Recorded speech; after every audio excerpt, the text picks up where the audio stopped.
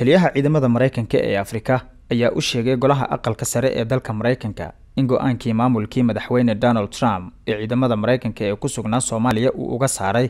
uu abuuray caqabado hor leh oo ka dhana la dagaalanka al-shabaab. Genaraal stephen thousand oo siinayay xubnaha aqalka sare warbixin ay ka yeesheen dib u eegis lagu sameynaya joogitaanka ciidamada maraykanka ee afrika ayaa sheegay inuu jiro hoosu dhac dhanka amni marka loo fiiriyo ciidamada maraykanka ee ku sugnaa soomaaliya ee la geeyey meel ka baxsan gudaha dalka. Horaantii bishii disembar ee sannadkii tegay madaxweynihii hore ee dalka maraykanka donald trump ayaa amar ku bixiyey in ku dhowaad toddoba boqol oo askarta maraykanka ee ku sugnaa soomaaliya ay isaga baxaan dalka soomaaliya. Ciidamada halkaasi waxay u joogeen inay caawiyaan militariga soomaaliya ee dagaalka kula jira al-shabaab. Africom waxay shaacisay in bartamihii bishii janaayo ee aynu ka soo gudubnay bixitaanku uu dhammaystirmay. Ciidamada intooda badan waxaa loo wareejiyey waddamada dariska si ay u sii wadaan howlgallada ka dhanka ah shabakadaha argagixisada sida alqaacida oo kale.